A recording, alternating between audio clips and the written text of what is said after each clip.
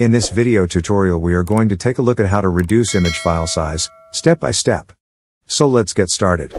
So from your WordPress dashboard, select Add New from Plugins. Then search for Smush, from here let's install this first result of Smush Lazy Load images and activate it. Once done, go to Smush and select Dashboard from here.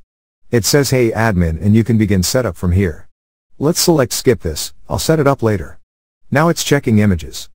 Here it shows that you have 8 attachments that need smushing. Then we have Pro version for free in which we get all these features. On top, we have Image Resize Savings with Resize Images link. Also a little below, we have Image Resizing option which you can turn on to resize your full-size images. A little below we have Learn More button for more information.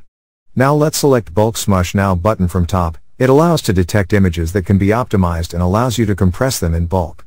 So now it's smushing. Once done, you can see success message. Also here we have 549.7 KBs as total savings and 76 images have been smushed. So this is how you can reduce image file size. Thank you for watching. Struggling with WordPress? WP Learning 101 is your solution. Our free training is perfect for WordPress beginners. Click the link below to join WP Learning 101.com and start mastering WordPress today.